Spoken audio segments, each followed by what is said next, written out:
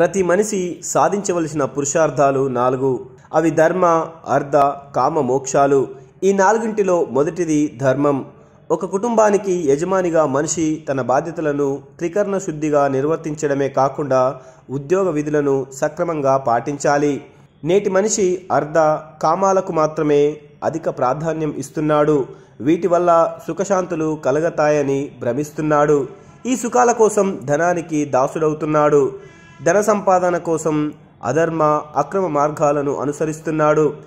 చివరికి తన జీవితాన్ని తానే నాశనం చేసుకుంటున్నాడు. భోగభాగ్యాల వల్ల కలిగే సుఖశాంతులు మనిషికి క్షణికమైన ఆనందాన్ని మాత్రమే కలిగిస్తాయి.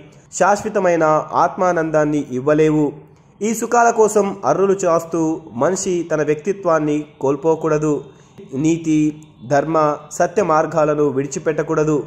అక్రమార్జన మనిషికి అశాంతిని కలిగిస్తుంది. నిజాయితీతో కూడిన నీతిమంతమైన సంపాదన ఎనలేని తృప్తినిస్తుంది.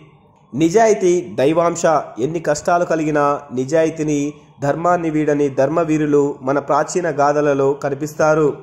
వారు ఆదర్శ పురుషులు మాత్రమే కాదు మనకు దిశానిర్దేశం చేసే ఋషులు కూడా.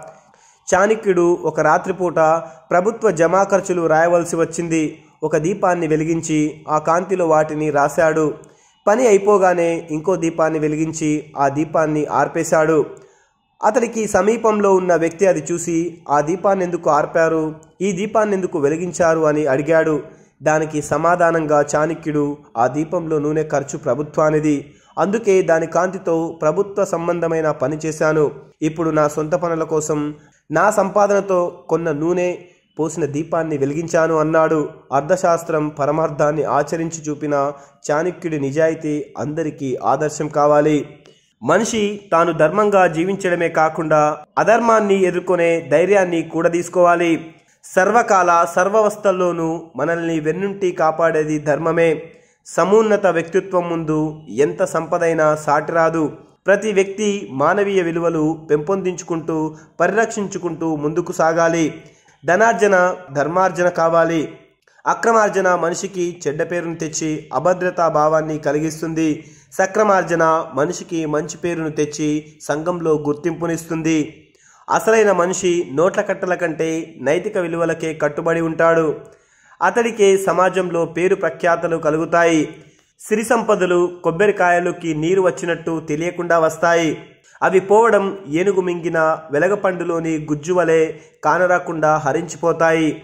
అందుకే ఈ ఐశ్వర్యాదులు శాశ్వతమని నమ్మి మనిషి విర్రవీగకూడదు. ఏ మనిషి అయినా తనకున్న దానితో తృప్తి పడాలి. సత్యధర్మాలను ఆలంబన చేసుకోవాలి. తన కర్తవ్యాన్ని చిత్తశుద్ధితో నిర్వర్తించాలి. అలాంటి వారు సమాజంలో ఆదర్శమూర్తులుగా నిలిచిపోతారు.